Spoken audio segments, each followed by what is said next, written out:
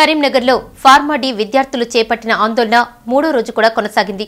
ఇప్పటికే విద్యార్థులకు బీజేపీ సంఘీభావం ప్రకటించగా తాజాగా కాంగ్రెస్ కూడా సంఘీభావం తెలిపింది. మాజీ ఎంపీ టీపీసీసీ ఉపాధ్యక్షులు పొన్నం ప్రభాకర్ విద్యార్థుల వద్దకు వెళ్ళి అండగా మేమున్నామంటూ భరోసా కల్పించారు. వెంటనే ఫార్మాడీ విద్యార్థుల న్యాయమైన సమస్యలను పరిష్కరించాలని ఆయన డిమాండ్ చేశారు. తెలంగాణ రాష్ట్రంలో ఫార్మా డి చదివిన విద్యార్థులకు ప్రభుత్వంలో క్యాడర్ కావాలని డిమాండ్ చేస్తున్న విద్యార్థుల ఆందోళన మూడవ రోజు కూడా కొనసాగింది. ఫార్మా డి విద్యార్థులు చేస్తున్న ఆందోళన శిబిరాన్ని మాజీ ఎంపీ టీపీసీసీ ఉపాధ్యక్షులు పొన్న ప్రభాకర్ సందర్శించారు. వారి సమస్యలపై ఆరా తీశారు.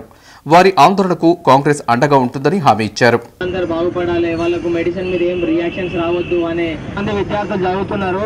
మరి మేము సర్వీసెస్ ఇవ్వడానికి మా మా ఫార్మీ డాక్టర్స్ వెల్ఫేర్ అసోసియేషన్ నుంచి ఇంకొక తల్లిదండ్రులు కష్టపడి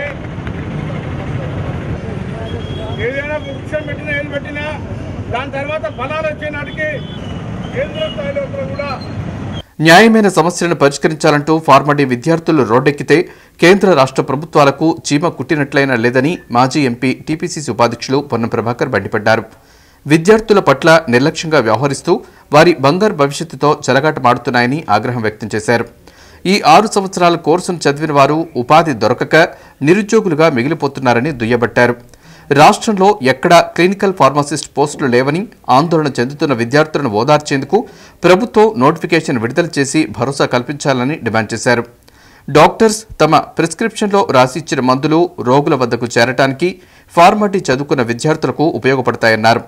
ఫార్మటీ విద్యార్థుల సమస్యను కేంద్ర ఆరోగ్య శాఖ మంత్రి గులాబ్ నబీ ఆజాద్ కేంద్ర కార్మిక శాఖ మంత్రి మల్లికార్జున ఖర్గే దృష్టికి తీసుకువెళ్ళి పరిష్కారానికి కృషి చేస్తామని హామీ ఇచ్చారు. ఫార్మాటీ చదివిన విద్యార్థిని విద్యార్థులు రాష్ట్ర వ్యాప్తంగా గత మూడు రోజుల నుంచి నాలుగు రోజుల నుంచి సమ్మె చేస్తూ ఉంటుంటే కూడా రాష్ట్రానికి సంబంధించిన కేంద్రానికి సంబంధించిన ప్రభుత్వంలో ఉన్నటువంటి బాధ్యులు ఎవరు కూడా వారి సమస్య వైపు కన్నెత్తి చూడకపోవడం విచారకరం. వారు అడుగుతా ఉన్నారు ఆరు సంవత్సరాలు మేము ఈ రాష్ట్ర ప్రభుత్వం కేంద్ర ప్రభుత్వం ప్రవేశపెట్టిన కోర్సును చదువుకొని నిరుద్యోగులుగా బయటికి రావాల్సి వస్తూ ఉన్నది. మాకెక్కడ కూడా క్లినికల్ ఫార్మసిస్ట్ పోస్టులు లేవు. అవి క్రియేషన్ లేవు నోటిఫికేషన్ లేవు కాబట్టి గత మూడు సంవత్సరాలుగా మూడు బ్యాచ్లుగా నిరుద్యోగులుగా బయటికి వస్తూ ఉన్నాం. మా సంగతి అని అడుగుతా ఉన్నారు. ఆనాడు ఈ కోర్సు ప్రవేశపెట్టినాడు.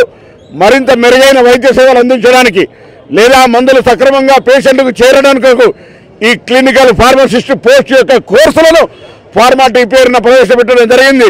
కేంద్ర ప్రభుత్వంలో ఉన్నటువంటి ప్రతిపక్ష నాయకులైన గులాం నబీ ఆజాద్ గారు మాజీ మెడికల్ శాఖ మంత్రి గారు అదేవిధంగా మల్లికార్జున్ ఖార్గే గారు రాష్ట్ర నాయకత్వాన్ని కూడా ఈ దృష్టికి తీసుకెళ్ళి ఈ సమస్య పరిష్కారానికి కాంగ్రెస్ పార్టీగా వారికి పూర్తిగా అండగా ఉంటామనే మాట మనం చేస్తూ